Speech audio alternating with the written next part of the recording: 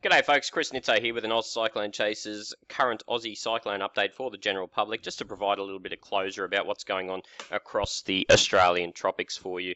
Uh, earlier today we saw the demise of this tropical low as it uh, became vertically displaced. So basically, as you went up in the atmosphere, part the center of the circulation in the upper level of the atmosphere was about two to three hundred kilometers away from the surface level circulation, which was right over the top of Darwin. So. Uh, that's all she wrote for this one, folks. Unless uh, it it does something miraculous, we shouldn't be expecting this one to redevelop. Let's take a look quickly at the last threat map that was issued by the Bureau of Meteorology in Western Australia. You can see the low pressure system right on that west coast of the Northern Territory, expected to move into the Timor Sea. Look, it may encounter a period of intensification here as it goes through some nicer conditions in the environment, but overall the expectation is that if it does develop somewhat, it will remain below tropical cyclone status as it skims the north coast of the Kimberley and then pushes further offshore into the uh, into the Indian Ocean. You can still see on today's guidance already there, or continue to see, the fact that the circulation centre has been displaced. So there's the circulation at the surface right over the top of Darwin City. Well, it was during the daytime. A little higher up in the atmosphere and the circulation centre was located a bit further west. A little higher up still in the atmosphere and the circulation centre was located further west. And a little higher up again and the circulation centre was located a long way to the west of Darwin. And this is the problem. With a tropical cyclone, you need to get all of its circulation centres on top of each other uh, if it's going to have any chance of development. At the moment, we've got a, a circulation that has no head. Think of, uh, think of it as a human trying to walk around with his legs and his head chopped off. You can't do it, can you?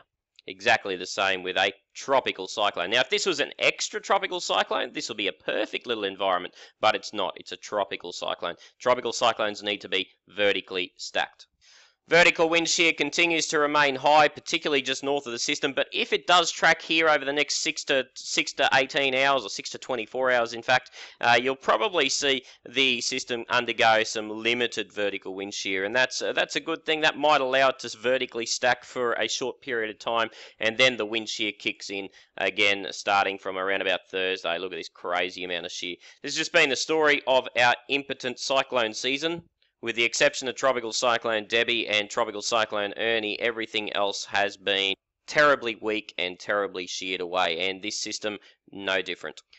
Nevertheless, on the OCC Weather Centre, as we track this system through, you can see that whatever's left of the circulation as it hits the coast here around the North Kimberley or skims the coast around the North Kimberley could provide a fair amount of shower activity on the coast, uh, particularly here on the Western Australian side of the NTWA border.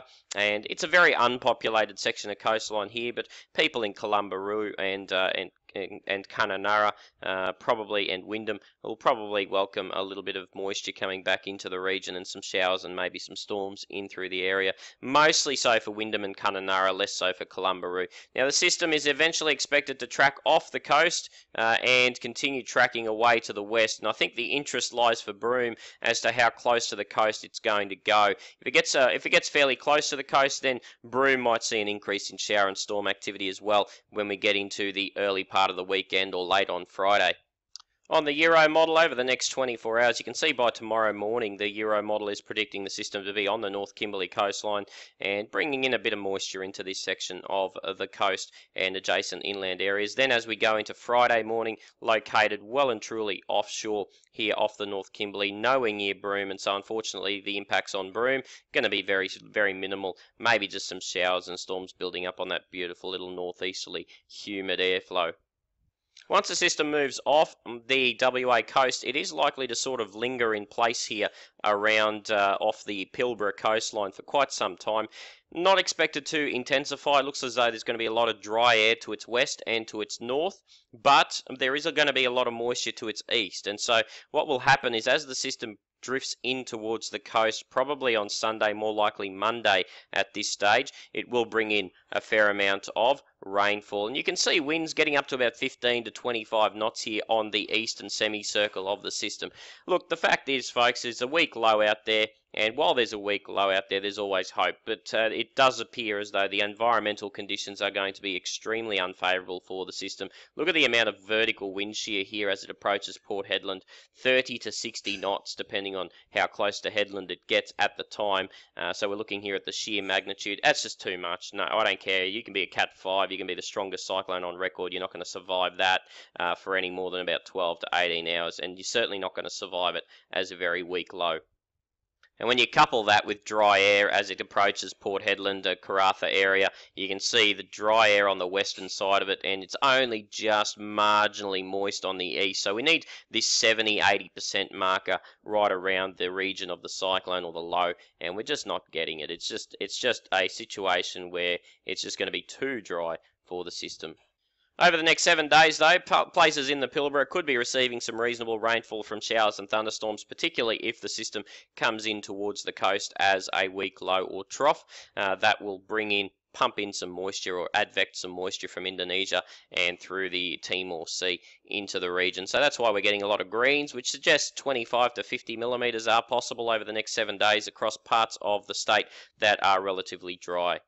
As I say, folks, we'll keep an eye on it just in case it does something silly over the next 24 hours. But let's shift our focus over to the far north of Queensland. A weak trough has developed in the Coral Sea, and what we can see using our radar, satellite imagery you can see that elongated line of disturbed weather. Uh, try something trying to get going here in the eastern Coral Sea. It won't. But uh, the idea here is that the trough system will move in a northwesterly direction up towards the tip of the peninsula and may increase some rainfall up there. Anywhere north of Cooktown, more likely north of Cape Melville at the moment. It just keeps going a little bit further north with each model run. So there's our trough system just in through there and you can see just on that southern edge that's where we're seeing the greatest amount of convection and from that system you can see it's tracking in a west to northwesterly direction tomorrow and then just sort of washes out but moves into the northern parts of the peninsula on Friday, Saturday morning and it may enhance some rainfall up here in the North Peninsula and the Northern Territory northeastern coastline. So uh, that's an interesting feature into the future. We're watching a couple of other little weak circulations that could form up in the Solomon Sea, track across PNG, and maybe a nuisance up there in the Arafura Sea in the longer term. Look, we're pretty well into dry season mode now across most of the Coral Sea, so it would be very unusual now to see a tropical cyclone track in a southwesterly direction. If we do see any tropical cyclone activity in the back end of April, it's very likely to be located up here in the Solomon Sea. That's its genesis point and very likely to track in an almost due west direction. As soon as it tries to move in a south, south or southwest direction, uh, it'll be sheared away or an upper trough will take it away to the southeast. So there's very little chance now for the Queensland coast south of Cairns uh, to be receiving any uh, type of cyclonic activity at the back end of April we've pretty well now moved right into a dry season pattern. So, given the fact that that is the case, this may be the last time you'll hear from me this season in a video update. In saying that, though, of course, we'll be keeping an eye open on this tropical low, particularly over the next 24 hours. It does have a small window there of some opportunity, but it, it's got a lot of work to do to even be a, uh, a reasonable low that could produce any weather for anyone at the moment. So it's got a long way to go. And as I say, in the long term for Port Hedland folk and maybe Karratha folk, it could be, it could increase some shower activity. Keep an eye on this uh, little trough system as it tracks west. Nothing expected out of that. And uh, probably more importantly, just keeping an eye on these little circulations that might pop up in about uh, five to ten days out there in the Solomon Sea. They're very likely to track directly west and maybe a little bit interesting for the Northern Territory uh, into the media into the long term. But as I say, jury's still out about how close to the NT they'll get at the moment. They're not within 500 k's of the NT coastline, so uh, this should, if everything goes to plan, be my last update with you for season 2016-2017.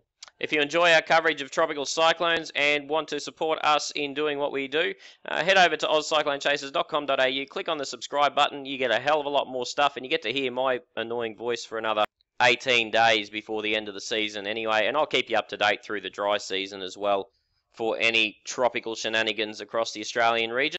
Plus, you get access to computer model graphics, high resolution radar, high resolution satellite, more high resolution stuff that you can't get anywhere else and lightning data, all that stuff uh, is yours if you're a subscriber. $38.50 a year.